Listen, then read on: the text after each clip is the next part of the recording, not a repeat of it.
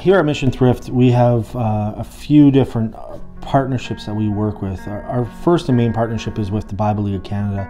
All the money that we raise above and beyond expenses goes to them, and they, they help millions of people around the world.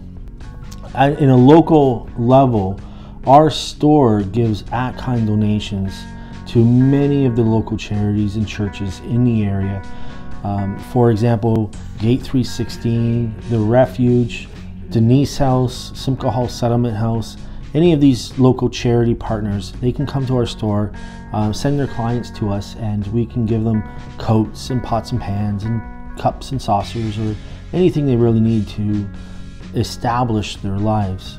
I have been here with Mission Thrift since October and it has been an absolutely wonderful place to work. I have thoroughly enjoyed getting to know our customers. We have some regulars that come in on a regular basis and um, you get to know who they are and their likes, the things that they're looking for so we can help them out as they help others. We also have a great opportunity to meet the needs of those who are less fortunate. So sometimes people will come in who have great um, great needs uh, and they just come speak to us and we're so happy to, to help them out and be able to meet some tangible needs of theirs.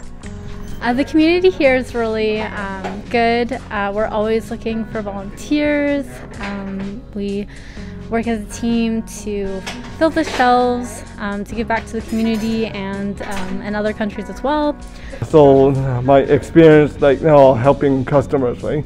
Like let's just say, sometimes uh, if they need a price check or they need cards from outside, uh, and then uh, near the end of the day, around like uh, that's just uh, quarter to five, I usually made a announcement, uh, just letting everybody know the store will be closing at 5 o'clock.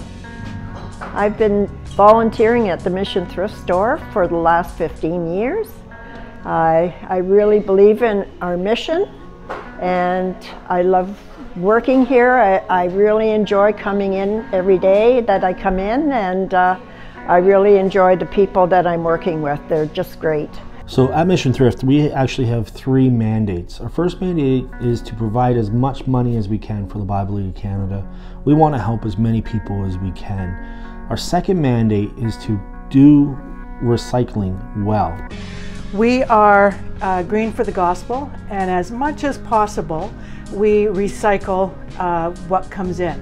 So, what we can't sell electronics, books, clothing, uh, housewares we try to recycle so that we're not putting so much into the dump.